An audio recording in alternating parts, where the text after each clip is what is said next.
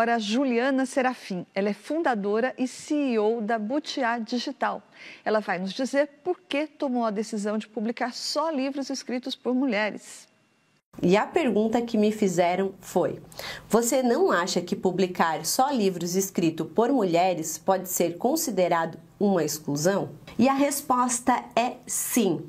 Não só por exclusão dos homens e de outros gêneros, mas também de história de transformações que não condiziam com o tema do livro.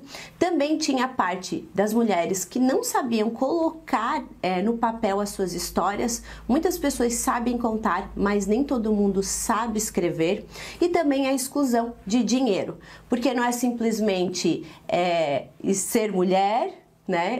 Ter uma transformação, saber escrever também precisa de dinheiro para publicar.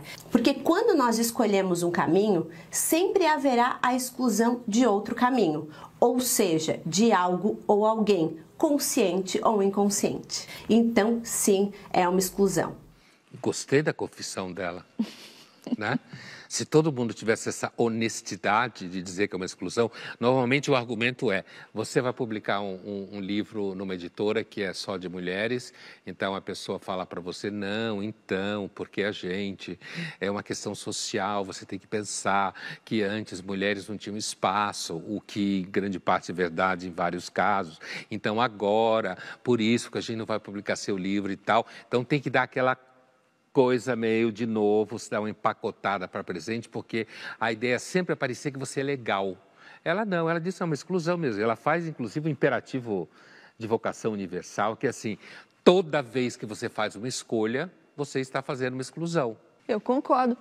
E ela, pelo menos, também se dá ao trabalho de justificar de alguma forma, porque eu já ouvi falar de editores que simplesmente exibem nos seus sites um comunicado. Esta editora não aceita originais de homens brancos. É, então, né? Então, é, só que se você disser, bom, mas essa afirmação aqui pode ter um caráter de exclusão racial, a resposta vai ser aquela, não, mas homens brancos, heterossexuais, de repente, para piorar ainda o quadro do sujeito, de culpas, ele então sempre foi, sempre teve vantagem, agora vai perder as vantagens todas. Né? Então, a, a, aí, um enunciado como esse, que aparece ali embaixo, na realidade denota uma, uma exclusão, e que denota um caráter racial também, é evidente, só que vem empacotado para presente, dizendo que não, a gente está fazendo justiça. Ela não, ela é honesta, confessou de cara a situação, inclusive falando de que também tem uma exclusão de quem não tem dinheiro, né? e também ela fala de um elemento que é a ideia da transformação, né? É, essa ideia de transformação, pessoas que passam por transformações, a vida. Isso é uma outra questão que vende muito hoje. Eu não sei se é tão fácil se transformar, se não.